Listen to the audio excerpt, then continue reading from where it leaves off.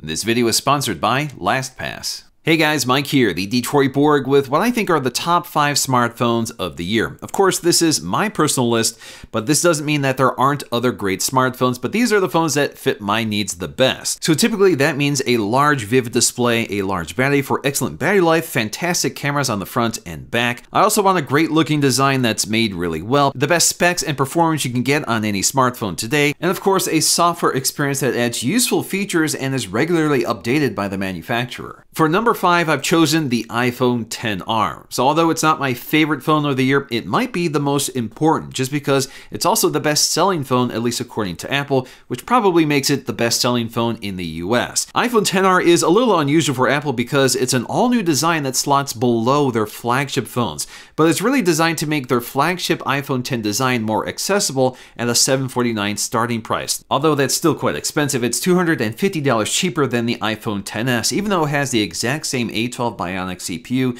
the same Face ID technology, and a very similar look to the iPhone 10s with an edge-to-edge -edge screen that Apple calls the Liquid Retina display. So essentially that means we have an LCD screen instead of an OLED screen. iPhone 10R has most of the same features of the 10s, including stereo speakers, wireless charging, fast charging over the lightning connector. We also have a water resistance rating, although it's not quite as high as the iPhone 10s. Although the 10R has the exact same main wide-angle camera of the 10s and 10s Max, it didn't pick up the telephoto lens. But thanks to the image processor and the focus pixels of the camera sensor, we still get most of the portrait effects available on the flagship phones. Some of those cost-cutting compromises actually come with some benefits. For example, we have the best battery life among all of the iPhones. And that's thanks to a thicker design which allows for a bigger battery life, but also a lower resolution screen, which means it's not pushing as many pixels. The 10R also uses aluminum instead of stainless steel, which means we get a lot more vibrant color options than the iPhone 10s. And although it's much cheaper than the iPhone 10s, the screen is quite a bit bigger at 6.1 inches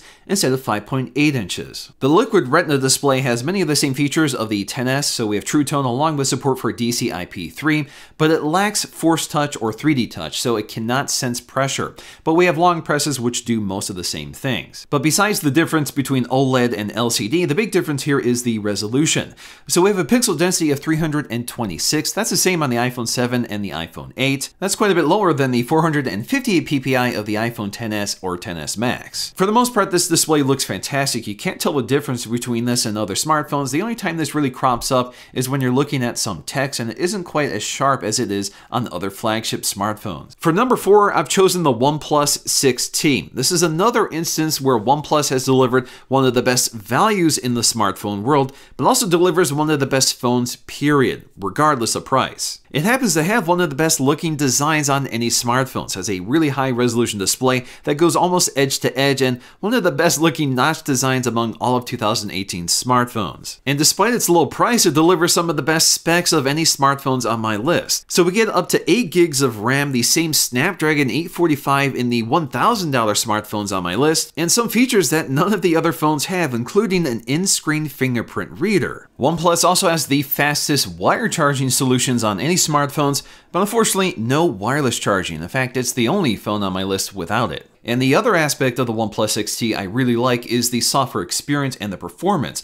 OnePlus has always done a fantastic job in terms of software optimization on its hardware, so it's not too bloated and emphasizes speed and performance, so it always feels like the fastest phone I have. And OnePlus has done a pretty good job keeping their phones updated with the latest version of Android. Now, despite costing half the price of similar sized flagship phones, this OLED display is one of my favorites on the list. It's nice and large at 6.41 inches, has a resolution resolution of 1080 by 2340. That's good for 402 pixels per inch. So again, we have OLED, a larger screen, and sharper resolution than the iPhone 10R that costs quite a bit more. Besides wireless charging, the only other thing it's missing is a set of stereo speakers like the rest of the phones on my list. Otherwise, at 549, this is an unbeatable value, especially when we start talking about my next phones. Before I get to my top three, I just want to talk about today's sponsor, LastPass, the first app I install on all of my new devices. One of the biggest challenges of using so many different devices is just keeping all those passwords synced together. So traditionally, every time I set up a new device, I had to manually enter the passwords for all of my accounts. But with LastPass installed, it will automatically remember my password and autofill them into every app or website. And because LastPass supports multiple platforms, I can use the exact same service on iOS and Android. Because LastPass remembers everything for you, it breaks some bad habits, such as writing your passwords down in an unsecure manner, or just using the exact same password on all of your accounts. So if one of them is compromised, they could potentially take that password to all of your other accounts. Instead, LastPass can generate strong individual passwords for each account. And the only thing you have to remember is your master password for LastPass, which you can also secure behind multi-factor authentication. So if you guys want to check out LastPass, I highly recommend it, and you'll find a link in the description below. Thanks again to LastPass for sponsoring this part of the video, so let's move on to my top three. So the rest of my list is basically a three-way tie. So the top three smartphones include the iPhone XS Max, the Galaxy Note 9, and the Google Pixel 3 XL. Now, the reason they're a three way tie is that they each have features that one of them is better at than the other, but they all, in aggregate, are fantastic smartphones that I can highly recommend to anybody. So, first up, let's talk about the iPhone XS Max. This is the most expensive phone on my list, starting at 1099 and maxing out at 1449 if you want 512 gigs of storage. There is a smaller version, the iPhone XS, which is also cheaper at 999. It's basically the exact same phone as the XS Max, but the 10S Max gets you a larger display and a bigger battery for better battery life. So obviously, that's the phone I'm going to pick here. Now personally, I think the iPhone 10s Max is the best looking smartphone on this list. It's made of stainless steel, so it has a unique finish that the others don't have. But it's also the only phone that has a completely symmetrical bezel, top to bottom. So besides a really thin bezel, the display pretty much goes edge to edge. But it also has the largest notch at the top, but that notch has one of the most impressive features of all of the phones on this list, and that's Face ID. Now I've been able to visualize how this works in real time thanks to an infrared camera. So you can actually see all of the infrared dots on your face and how it works. Of course, the True Depth camera is used for much more than just face unlock or authenticating passwords. We can also use it for things like Animojis or Memojis. Now we've seen similar capabilities from other smartphones, at least in terms of unlocking your device, but not only is this more secure, but also works in more environments. So you can use this in pitch black or in direct sunlight. At 6.5 inches, this is the largest display of all the phones on my list. That's typically not something I get to say about an iPhone. So we have a resolution of 1242 by 2688 that delivers a pixel density of 458. So it's a really sharp Super AMOLED display with bright, vivid colors. It's not the brightest display on my list. It gets to about 600 nits, but the Note 9 goes to about 1000 nits. But it's noticeably brighter than the Pixel 3 XL. We also have a ton of other display technology, so this supports Dolby Vision and HDR10. We have the wide color spectrum of DCI-P3. We also have 3D touch, so we have pressure sensitivity and haptic feedback. And like other Apple devices, this is a True Tone display, which is by far my favorite adaptive display technology on any phone. The 10s Max also got a new set of stereo speakers, and they're definitely the best sounding speakers of all the phones on my list. So if speaker quality is important to you,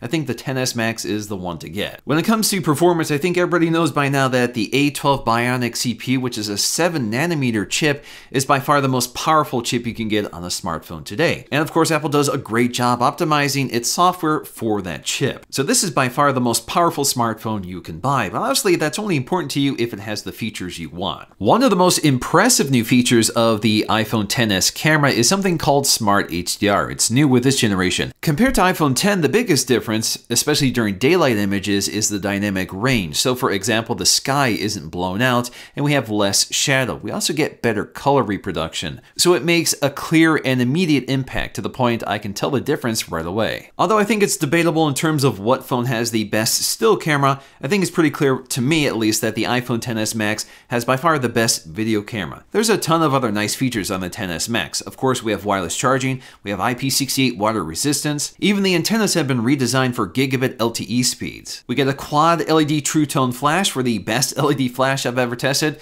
but more importantly, we also get a new set of microphones for the the best audio pickup I've ever experienced on a smartphone. But of course, if you don't like Apple or iOS and want to take full advantage of Android and Google, there are two great options to take a look at, and first up is the Pixel 3 XL. So the Pixel 3 XL is the most affordable phone in my top three at 899 to start. But as always, the Pixel represents exactly what Google wants Android phones to be. So we get the most current version of Android, which is always the most important thing to me, and we also get a really good looking interface that's been highly optimized without a lot of extra bells and whistles. But unfortunately, this is definitely not the best looking phone on my list. At least I don't think it is, but I think that can be overstated because once you're using the device, you don't really mind some of the appearance issues.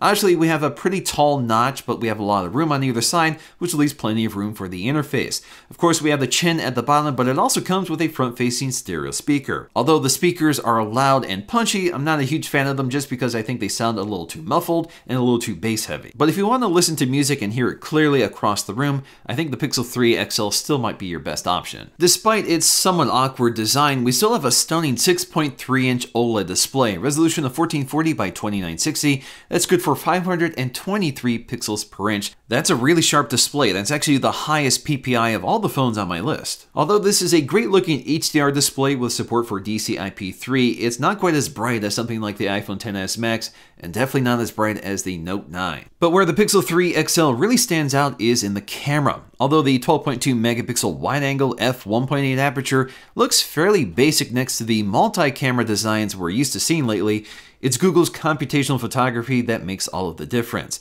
Perhaps the most striking example of this is the night sight mode. It's literally the difference between night and day and something iPhone certainly can't do inside the camera app. It brings up detail you had no idea was in the image, and what's truly remarkable is the way it finds color in an image, especially when there's no light to begin with. Most long exposure modes tend to oversaturate, but Night Sight manages to preserve a natural color range, which is a big part of what makes these images so stunning. Beyond Night Sight, the Pixel 3 XL generally handles dynamic range better than any other smartphone I've seen, but there can be a little more inconsistency in terms of white balance and sharpness. Now, the Galaxy Note 9 is one of the few phones that managed to escape 2018 without a notch, so that's definitely a good thing. So that means the Note 9 display isn't the largest one here at 6.4 inches. We get a resolution of 1440 by 2960, that's good for 516 ppi.